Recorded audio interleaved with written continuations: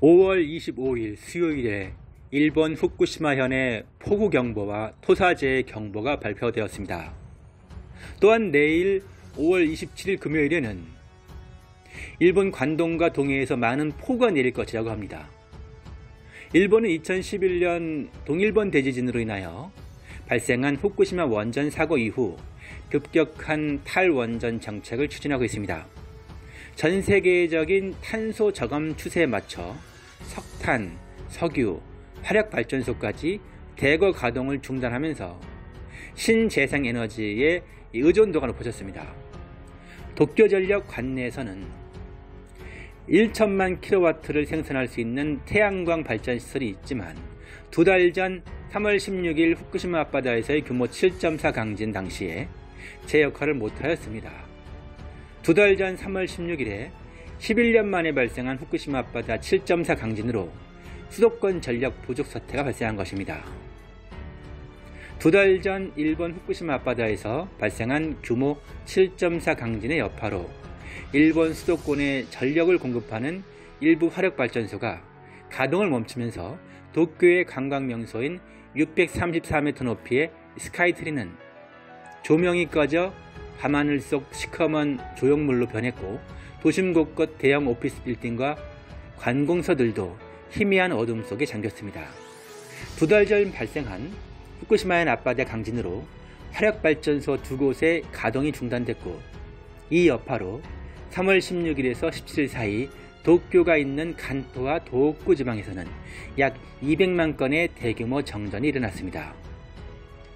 일본은 2011년 후쿠시마 원전 사고 이후 전국에 있는 원전 33기 중 10기만 상업 가동을 재개했습니다. 따라서 최근에 일본 여론은 안전이 확인된, 확인 된 원전을 서둘러서 재가동해야 한다는 것으로 나타나고 있습니다. 최근 65년 만에 폭우로 인하여 대교가 붕괴되고 도로 침수와 하천이 범람하는 사건이 일본 전역에서 발생한 일본 국민들은 곧 다가올 태풍에 대한 불안감이 더욱 커지고 있던 상황에서 일본 관동 지역과 후쿠시마에 대한 폭우와 토사재해 경보, 경계 공보는 일본을 크게 긴장시키고 있습니다. 특히 후쿠시마 해안의 지진은 최근 일본에 두달 전 3월 16일 발생했던 규모 7.4 강진의 공포를 다시 생각나게 하는데요.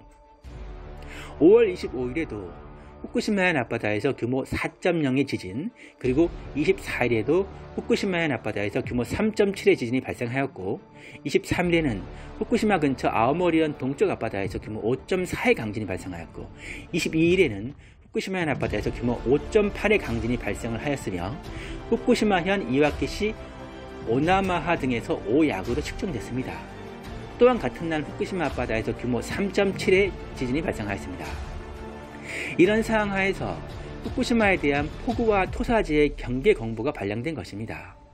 현재 일본은 대규모 태양광 발전 시설이 건설 중입니다. 하지만 그로 인하여 지역 산림 파괴와 대규모 토사 붕괴가 우려가 커지고 있습니다.